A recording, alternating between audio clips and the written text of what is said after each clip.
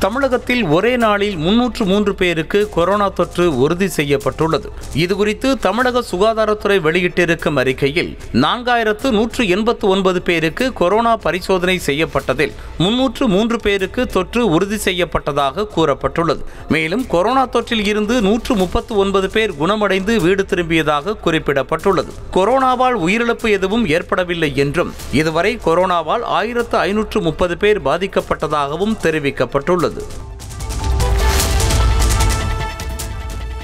புதிய தேசிய கல்விக் கொள்கையின் அடிப்படையில் பள்ளிக்கல்விக்கான தேசிய பாடத்திட்ட வழிகாட்டு நெறிமுறை தயாராகி உள்ள நிலையில் துறை சார்ந்த நிபுணர்கள் ஆசிரியர்கள் பெற்றோர் உள்ளிட்டோர் தங்கள் ஆலோசனைகளை தெரிவிக்கலாம் என தேசிய வழிகாட்டுதல் குழு தெரிவித்துள்ளது. எனவே விருப்பமுள்ளவர்கள் தங்களுடைய கருத்துக்களை NCF dot NCERT CIET dot NIC dot IN என்ற இணையதள முகவரிக்கு சென்று பதிவு செய்யலாம். உயர்நிலை மற்றும் மேல்நிலை வகுப்புகள் என்பதை உள்ளடக்கிய கல்வி அமைப்பை மாற்ற வேண்டும் என்பதும் அடிப்படை தொடக்கம் நடுநிலை மற்றும் மேல்நிலை என நான்கு பிரிவுகளின் கீழ் கல்வி அமைப்பை மாற்ற வேண்டும் எனவும் பரிந்துரை செய்யப்பட்டுள்ளது.